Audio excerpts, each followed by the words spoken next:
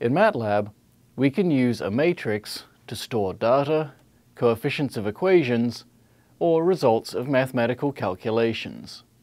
In many applications, we want to extract a subset of a matrix, which could then be used for further analysis. As an example, consider a matrix M. To extract a single element from a matrix, we start by identifying the row and the column number and use them in this syntax. Notice that in the MATLAB command, we enter the variable name, followed by the open parenthesis, the row and the column numbers, and the close parenthesis. The row number and the column number, also known as the row index and the column index, are separated by a comma.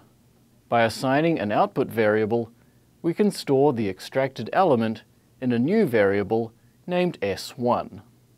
To extract multiple elements, such as rows 2 and 3 of column 2, we create a vector containing the row numbers using the square brackets and use that vector as the row index. In situations where we want to extract elements from a sequence of rows in a matrix, instead of entering all the row numbers, we can create the row index using the colon operator. In this case, 2 colon 4 will create a vector with elements 2, 3, and 4. Thus, to extract all the rows from column 2, we use this syntax.